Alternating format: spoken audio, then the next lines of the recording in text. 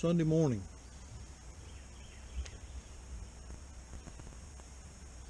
I think today is day 14, two weeks of our Hunker Down 2020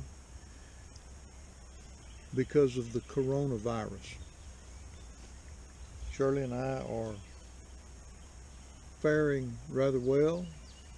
We're taking it seriously. A lot of people are not, still are not, despite the fact that a lot of people have lost their lives because of the coronavirus.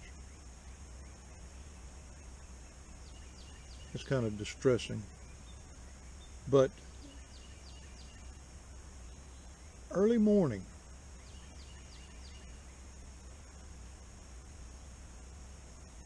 peaceful.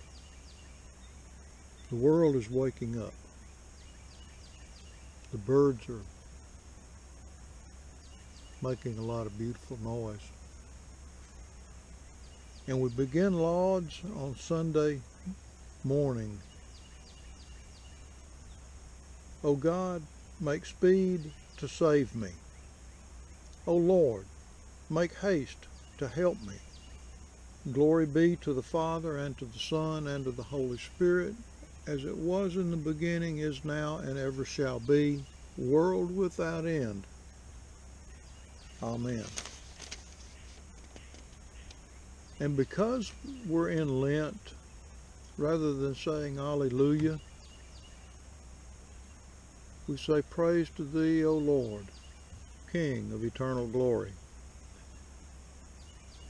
Benedict's formulation of the Psalms, then we begin with Psalm 67 and we'll not read the entire psalm. We'll just the first verse of it is is is so timely, considering the coronavirus that we're we're having to deal with, and maybe maybe it'd be a good idea to make this our collective prayer. God, be merciful unto us and bless us. And show us the light of your countenance and be merciful unto us, that thy way may be known upon the earth, thy saving health among all nations. It's a beautiful psalm. Psalm 51 follows Psalm 67 according to Benedict's ordering of the Psalms, that beautiful penitential psalm have mercy upon me, O God, after thy great goodness. According to the multitude of thy mercies, do away mine offenses. Wash me thoroughly from my wickedness and cleanse me from my sin. Verse 17 of Psalm 51 says, The sacrifice of God is a troubled spirit a broken and contrite heart, O God, shalt thou not despise. And I'm reminded of how this issue of sin and our own human sinfulness, how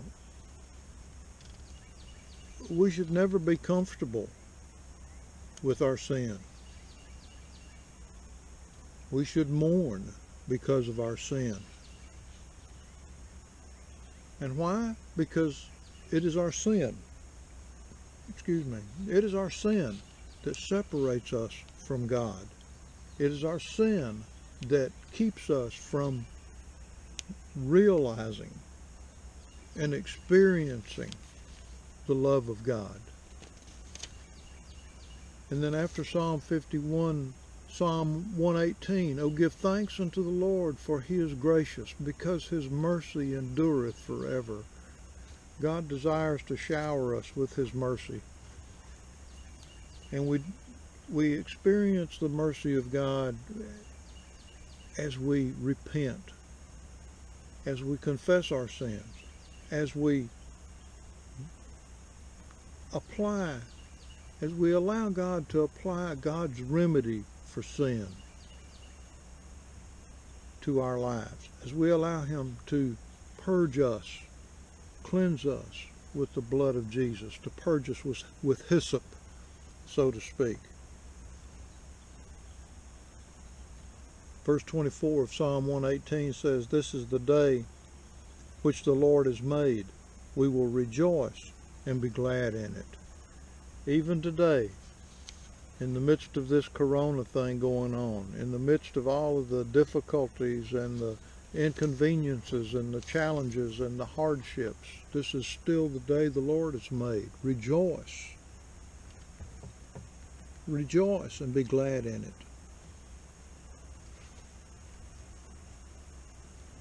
Look for the good in every moment of the day. That's hard to do. It really is. But look for the good in every moment of every day. There's a canticle then that follows the, the Psalms that are read, that are chanted in the monastery. And the canticle for Sunday of Lauds is the Song of the Three Children. Uh, talking about Shadrach, Meshach, and Abednego. Daniel chapter 3 verses 35 through 66 that begins with the words, O all ye works of the Lord, bless ye the Lord, praise him and magnify him forever. And then there's a long litany that follows. O ye angels of the Lord, bless ye the Lord. O ye heavens, bless ye the Lord. O ye waters, bless ye the Lord. And then there's a long, long litany that says, O ye priests of the Lord, bless ye the Lord. O ye servants of the Lord, bless ye the Lord. O ye spirits and souls of the righteous, bless ye the Lord.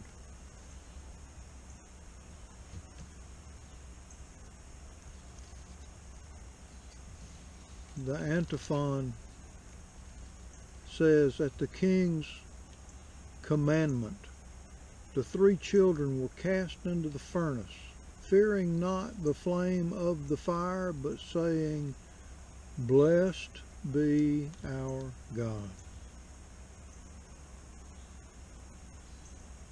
Psalm 148 then follows, Psalm 149, Psalm 150, and then the chapter says, blessing and glory and wisdom and thanksgiving and honor and power and might be unto our God forever and ever. Amen. With a responsory of thanks be to God. And then after after the chapter, this is the responsory.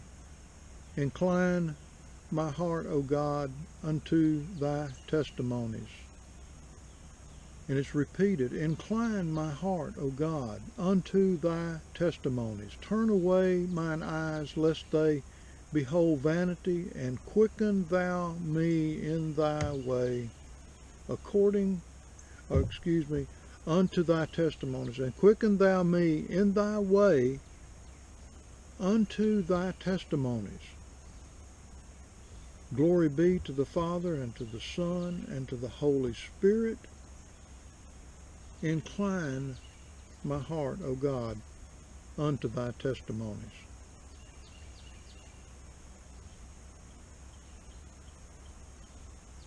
And it concludes with the hymn, Maker of all, eternal King, who day and night about dost bring, who weary mortals to believe, dost in their turn the seasons give. And then there's several verses of that that I love it in the monastery, the way the chant goes that, that's sung glory to the father and to the Son, and to the Holy Spirit, as it was in the beginning, is now, and will be forever. Amen.